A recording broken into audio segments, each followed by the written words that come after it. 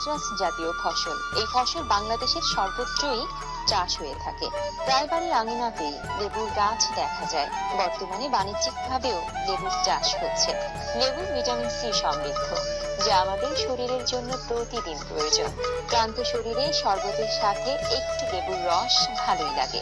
সালাদের সাথেও লেবু থাকলে মন্দ হয় না। বিভিন্ন প্রসাধনী ও সুগন্ধি প্রস্তুতেও লেবু ব্যবহার হয়ে থাকে। সারা দেশের মতো টাঙ্গাইল জেলাও লেবু চাষের জন্য উপযুক্ত।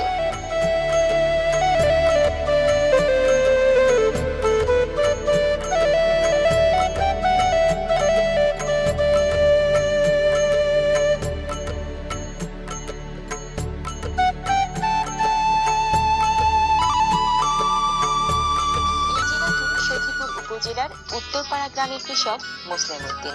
তিনি একসময় ছিলেন একজন ভূমিহীন কৃষক। তিনি অন্যের জমিতে কাজ করে কষ্টে জীবিকা নির্বাহ করতেন। তিনি ছিলেন কৃষি কাজের প্রতি অদম্য ইচ্ছা শক্তি সম্পন্ন একজন ব্যক্তি। সেজন্য তার পরিশ্রমে অন্যের জমিতে কৃষিকাজে সাফল্য আসে। কিন্তু নিজের ভাগ্যের কোনো পরিবর্তন আসে না। এক পর্যায়ে তিনি তার নিজের বসত বাড়ির পাশের সামান্য জমিতে চাষাবাদ শুরু করেন। তারই অংশ হিসেবে পাঁচ ছটি কলম্ব ও এলাচি লেবুর চারা রোপণ করেন। খুব অল্প সময়ে এই গাছে লেবুর ফলন দেখা যায় এবং প্রচুর পরিমাণে লেবু আসে। এ দেখে তিনি লেবু চাষে আগ্রহী হয়ে ওঠেন। তিনি এলাকার মানুষের কাছ থেকে ছয় একর জমি লিজ নিয়ে শুরু করেন লেবুর চাষ।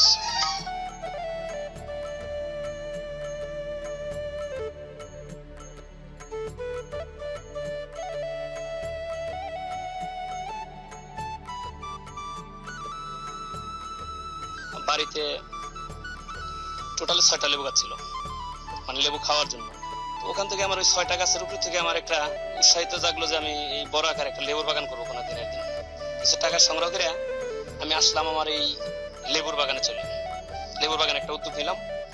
এখানে সাড়ে ছয় একর জায়গা, এটা আমি লিজ নিলাম দশ বছরের কন্ট্রাক্টে প্রতি বছর এক লাখ ষাট হাজার টাকা চুক্তি হলো তাদের সাথে। এলাকার মানুষ অনেকটাই আমাকে মানে খারাপ বলতো যে এই তো আরও মূল্য মানে এই বাগানে তো লেবুর বাগানে কোনোদিন লাভ হবে না। তখন আমার একটা আশা ছিল যে মাটি কাউকে কখনো ঠকাবে না। মাটি এমনই জিনিস, শত শত প্রজাতির ফসল মাটিতে ফলে। আল্লাহর রহমতে আমার এই লেবুর বাগান থেকে আমি এখন অনেকটাই স্বাবলম্বী হয়েছি এবং কি আমাকে দেখে এই অত্র এলাকার মানুষ এবং কি অনেক উপজেলার মানুষ এই আমার বাগান থেকে উদ্বুদ্ধ হচ্ছে। আমার কাছে মানে চারা নিতেছে, কলমের চারা করতেছি। এটা বৈশাখ মাস থেকে শুরু দিই বর্ষার তিন, চার মাস কলমের চারা করি।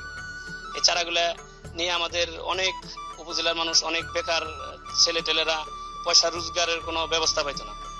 আমার এখান থেকে এবছর প্রায় কম হলেও একশো উপরে আমার এখান থেকে বাগান হয়েছে আমার এই বাগান থেকে চারা নিয়ে নেওয়া তারা একটা কর্মসংস্থানের সৃষ্টি হয়েছে। প্রতি বছর আমার এখানকার খরচ বাদ দেয় প্রায় সাত, আট লাখ টাকা আমার এই বছর আয় করতেছি। আমি আরও নতুন নতুন যে প্রজেক্টগুলা এখন বাড়ানোর চেষ্টা করতেছি। আমার এমনই নিশা যে আমি মাটিতে আমাদের বাংলাদেশে অনেক ফসল আমি যদি বিভিন্ন ভাবে বাণিজ্যিক ভাবে এভাবে করতে পারি, অবশ্যই আমি লাভবান হতে পারব। এবং কি আরও এলাকার যে মানুষগুলো আছে, বেকার অবস্থায় যারা আছে, আমাকে দেখে আরও শত শত কৃষক জানি আমাদের এই সখীপুরের মাটিতে এবং কি আমাদের এই বাংলাদেশের মাটিতে সৃষ্টি হয়, এটি আমার আশা। এখান থেকে এই ব্যাপারীরা এসে আমাদের সাথে কন্ট্যাক্ট করে। এভাবে লেবুটা, এই ব্যাপারটা নিয়ে আপনি ঢাকার বিভিন্ন মার্কেটে এবং কি আমাদের এই উপজেলার বাহিরে যে বরিশালে বিভিন্ন আড়ত গুলাতে ঢাকাতে আড়তগুলো দিতেছে। এই যে বাগানটা আমি করছি, আমাদের এখানে অনেক মানুষের যে একটা কর্মসংস্থান হয়েছে, আমার এখানে বর্তমানে প্রায় দশ বারো জন শ্রমিক প্রতিদিন নিয়মিত কাজ করতেছে, তাদের একটা কর্মসংস্থান হয়েছে।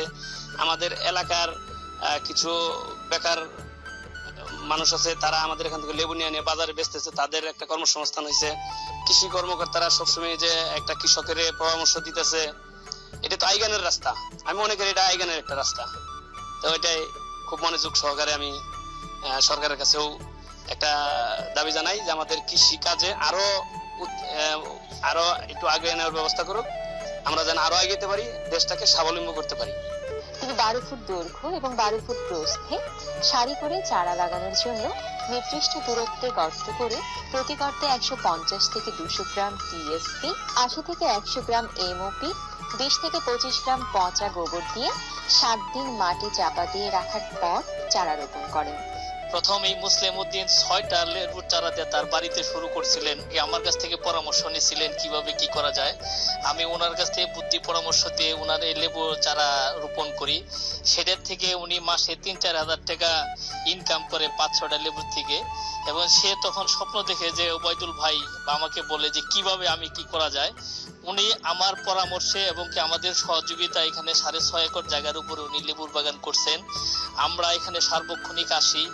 আপনি বিভিন্ন সময় রোগের পরামর্শ দেই এবং কি বিভিন্ন পোকামাকড় থাকে সেটার পরামর্শ দেই। আমরা সেচের জন্য সহযোগিতা করেছি এখানে সেচ কীভাবে প্রয়োগ করা হয় এবং কি সুষম মাত্রায় আমরা সার প্রয়োগ করার জন্য সার্বক্ষণিক আমরা সহযোগিতা করে থাকি এবং এই লেবুর যে গাছের পাতাগুলো আছে, এই পাতাগুলা আপনার যখন মরা পাতা হয় সেটা এই পাতাগুলো আমরা অপচয় করতে দেই না। এই পাতাগুলো এক জায়গায় গুচ্ছ আকারে রাখি জৈব সার তৈরি করে এই লেবুর বাগানে আবার সেই সারটা প্রয়োগ করি। এই মুসলিম উদ্দিনের লেবুর বাগান দেখে এই আমাদের এই গজেরা ইউনিয়নে প্রতি ঘরে ঘরে মানুষের বসত বাড়িতে দুইটা করে হলেও তারা লেবুর চারা তৈরি করছে এবং এই উদ্বুদ্ধ হয়ে তারা লেবুর চারা, লেবু রোপণ করছে। তারা সবাই উপকৃত হয়েছে। এতে তার জমিতে বর্তমানে পাঁচ হাজার পাঁচশত লেবুর গাছ হয়েছে।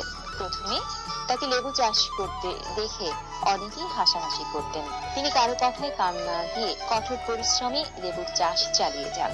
তিনি সারাদিন ঘুরে ঘুরে এই লেবুর বাগান দেখাশোনা ও পরিচর্যা করতে থাকেন। যার ফলে এই লেবু চাষে তার ভাগ্য ফিরেছে। এই লেবু চাষ করে তার বছরে খরচ বাদ দিয়ে আট লক্ষ টাকা লাভ হয়। তার সাফল্যে এলাকায় যারা প্রথমে হাসাহাসি করত, তারাও লেবু চাষে আগ্রহী হয়ে উঠেছেন এবং তার কাছে পরামর্শের জন্য আসেন। তার পরামর্শে অনেকেই লেবুর বাগান সৃজন করেছেন। লেবু চাষে যে কোনো সমস্যায় মুসলিম উদ্দিন উপজেলা কৃষি অফিসে যোগাযোগ করেন এবং কৃষি কর্মকর্তাদের পরামর্শ মোতাবেক ব্যবস্থা গ্রহণ করেন। তিনি তার লেবু বাগানে নির্ধারিত মাত্রায় রাসায়নিক সার ছাড়াও জৈব সার প্রয়োগ করে থাকেন। লেবুর বাগানে সেচ দেওয়ার জন্য আধুনিক সেচ ব্যবস্থা ব্যবহার করেছেন। তিনি পিভিসি পাইপ দিয়ে সেচের জন্য এমন একটি সেচ ব্যবস্থা চালু করেছেন যাতে একটু পানিও নষ্ট না হয়। তার লেবু চাষের সাফল্য এলাকায় সাড়া ফেলেছে।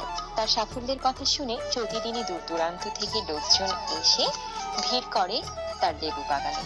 তার বাগান দেখতে জনপ্রতিনিধি সহ নানান পেশার লোক আসেন এবং তার সাফল্য গাথা শোনেন। তারা মোহিত হয়ে লেবু চাষের ইচ্ছা প্রকাশ করেন এবং পরামর্শ চান। যারা মুসলিম উদ্দিন, সবাইকে এই কাজে উৎসাহ প্রদান করে থাকেন। তার বাগানের লেবু সারা বছরই সংগ্রহ করা যায়। লেবু সংগ্রহ করে শহরের বাজারে বিক্রির জন্য পাঠানো হয়। এই লেবুর কিছু অংশ বিদেশে রপ্তানি হয় বলেও জানা যায়। লেবু চাষ করে কীভাবে স্বাবলম্বী হওয়া যায় তার এক জীবন্ত উদাহরণ জনাব মুসলিম উদ্দিন। তিনি লেবু চাষ করে সমাজে প্রতিষ্ঠিত হয়েছেন। তার যেমন আর্থিক সংগতি বেড়েছে, তেমনি বেড়েছে সামাজিক মর্যাদা। তিনি লেবু চাষ করে বেশ খুশি।